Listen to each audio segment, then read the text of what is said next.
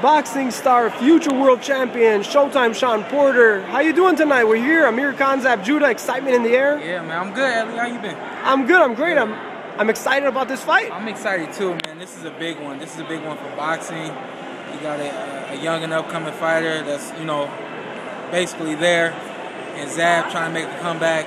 Can't lie to you, man. I got a lot of love for Zab. I'm rooting for him.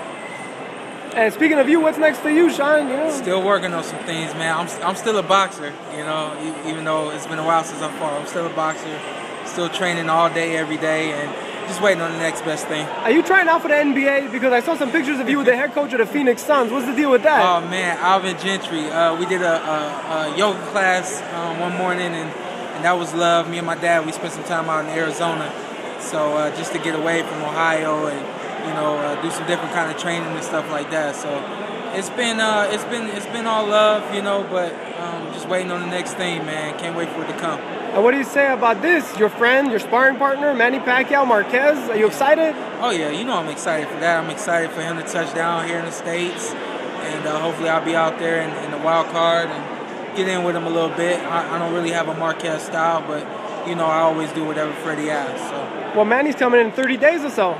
You ready? Oh, he's coming in in about 30 days. Yeah, time yeah, flies. About, yeah, man, time is flying, man. It's about that time. What, what's the day? October? The fight is uh, November 12th. Oh, November 12th is the fight. Okay. So yeah, I should be back out the wild card by the end of fall. We, you know, I can't stay in Ohio too long with that weather. There you have it. Any message to your fans? Uh, just keep looking out for me. It's been love, and uh, next best thing coming real soon. So there you have it. Showtime Shawn Porter for ESNewsReporting.com. I'm Elie Seckbach. Reporting. Reporting.